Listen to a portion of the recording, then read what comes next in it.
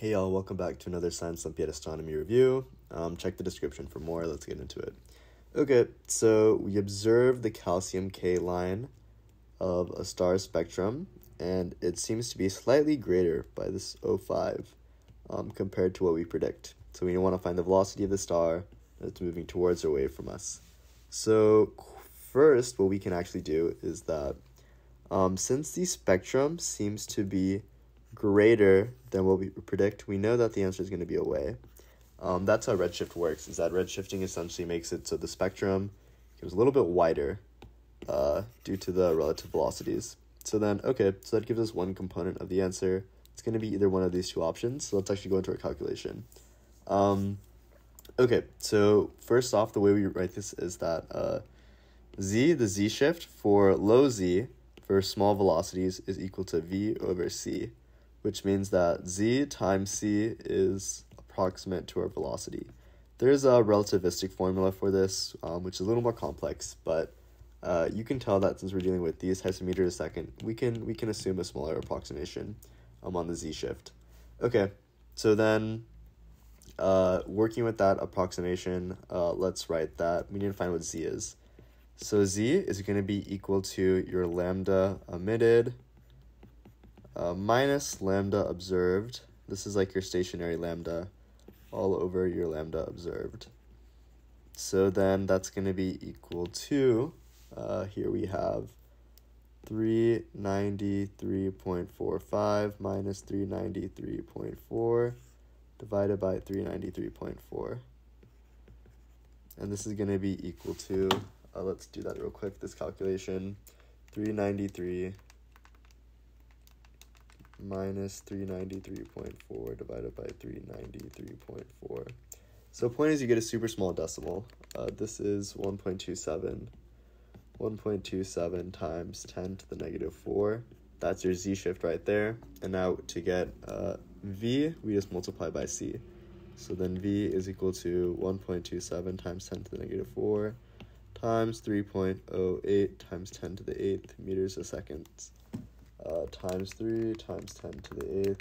And when you do all that, you get that V is about 38,000 meters a second. Uh, so that's your final answer. The quick thing to note is that since this result is positive, that tells us that the star is moving away from us. If we got a negative result, that means it's moving towards us. Um, that gives you your answer B. Okay, next question. Uh, star's apparent brightness is this much, absolute magnitude that much, and we want to find the distance to the star. Uh, we give you a hint of for what equation you want to use. Okay, so quickly, distance to a star is 10 to the apparent magnitude. This is apparent uh, minus m, your absolute.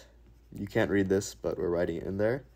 Plus 5 divided by 5. That's just rearranging the distance modulus. This is the equation that I like to memorize. Um, so we have the absolute magnitude uh, to get distance, but we need the apparent magnitude. And it looks like we're going to use this equation for apparent magnitude. So that is m1 minus m2 equals negative 2.5 log 10 of f1 over f2. And so we want to use this equation to compute that, and we're given the sun's apparent brightness. So, unfortunately, I think this does require us to know the sun's uh, apparent magnitude from memory. Um, if I'm not mistaken, it should be about negative 27.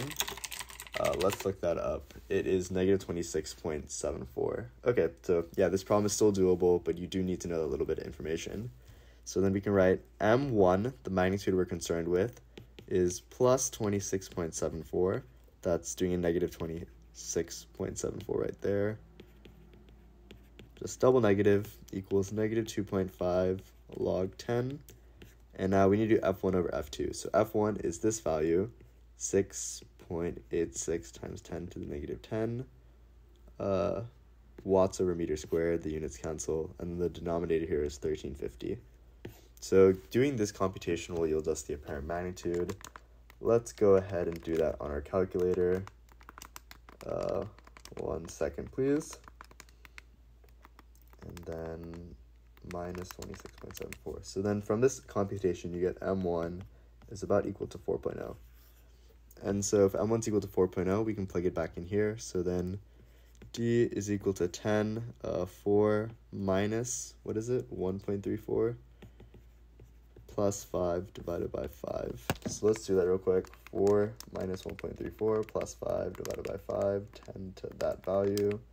And if you do that, you should get uh, around,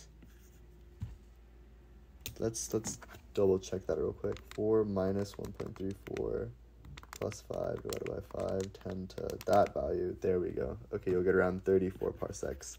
I had a quick calculator error, but yeah. Here is equal to 34 PC. Um, we're pretty far off from the other answer choices, so you know that's the correct answer. Okay, now let's go to the next question. Uh, formula. I want to say quickly that the next two questions we have are a little bit sillier. Um, not too much astrophysics you'd memorize as much as just what can you pick off pick off um, like from the problem statement. Um, so yeah, not too. Don't take these questions too seriously. A formula for the transit duration is given by this right here. Um, we have period, r star, r planet are the radii, and a is the semi-major axis of the planet's orbit. So what does the formula reduce to if r star is one solar radii, and a is that very small distance, orbital distance right there? We're assuming that r star is much, much greater than our planet. Okay, so looking at this equation, d equals p over pi, it's a reduction, so we're probably going to be reducing something right there. Uh, arcsine, let's see what this is. So then r star is one solar radii. I believe one solar radii is this in meters. That right there. Uh, it might vary a little bit, but that's okay. And then we're assuming that r star is much greater than our planet, so we're just going to add 0 right there.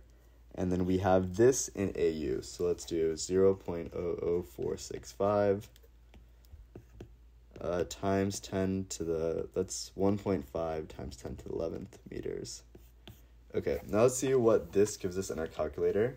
Um, hint, hint, it should be something pretty nice to obtain 11th.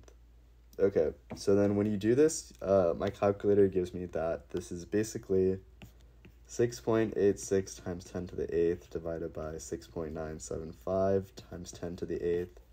Um, that's pretty dang close to 1, so that's probably some important information.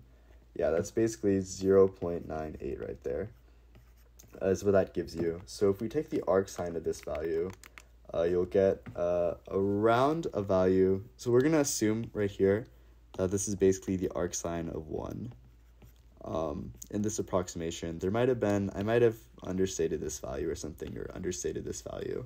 But this arcsine should yield basically arcsine of 1. Um, arcsine of 1, if you look at the unit circle, that's going to be an angle measurement, if I'm not mistaken.